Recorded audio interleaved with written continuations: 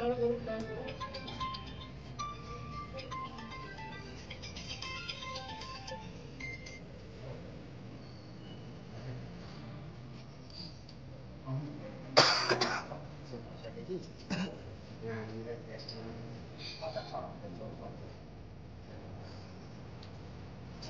Ya, Robert, bitte.